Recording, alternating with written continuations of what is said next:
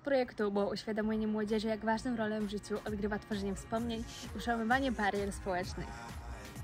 W spotkaniach naszego zespołu wzięło udział aż 1940 beneficjentów. Przeprowadziliśmy 39 spotkań w sześciu szkołach z całej gminy. Uczniowie z naszą pomocą podczas pracy w grupach ułożyli aż 320 bucket list. Nawiązaliśmy współpracę z 37 wspaniałymi sponsorami i partnerami. Wśród nich znalazły się znane firmy takie jak Helios czy Zagłębie Lubin. Udało nam się uzyskać prawie 4,5 tysiąca złotych. Nasz projekt spotkał się z ogromnym zainteresowaniem ze strony społeczności uczniowskiej oraz lokalnych mediów. Jako zespół Maycam zadebiutowaliśmy w telewizji, gazecie oraz radiu, a takich wystąpień było z czasem coraz więcej. Uzyskaliśmy aż 21 wzmianek honorowanych przez Olimpiadę. A to nie wszystko. Nasi beneficjenci wzięli udział w 24 konkursach. Młodsi uczniowie mogli liczyć na zabawy integracyjne oraz pracę twórczą przy kolorowankach z logotypem zespołu Maycam. Aktywnie działaliśmy na social mediach.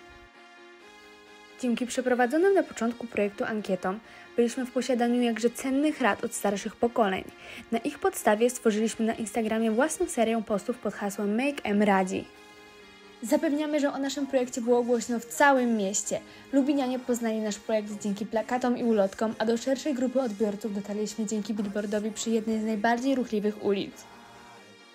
Po obszernym researchu utwierdziliśmy się w przekonaniu, że problem barier komunikacyjnych naprawdę istnieje, a więc nie pozostawało nic innego niż działać dalej. Okazało się, że można innowatorsko połączyć na scenie dwa pokolenia.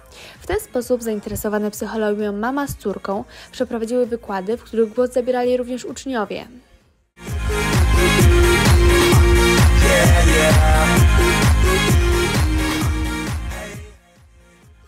Najciekawsze, a zarazem najbardziej spektakularne przedsięwzięcie zostawiliśmy na koniec. Finałem naszego projektu stał się apel z okazji uroczystego zakopania szkolnej kapsuły czasu. Zachęciliśmy uczniów naszej szkoły do podjęcia praktycznych działań i przygotowania wkładu własnego. W kapsule znalazły się listy i zdjęcia zarówno od uczniów zespołu Make M oraz dyrektora. Wygłoszone zostały piękne przemowy oraz zabrzmiały wystąpienia wokalne, a to wszystko z myślą o głównym sloganie naszych działań. Let's make em! Najpiękniejsze licealne wspomnienia zostaną zachowane w kapsule aż do 2040 roku. Naszym celem było pokazanie młodym ludziom, jak tworzyć wspomnienia i realizować marzenia. I to udało nam się osiągnąć!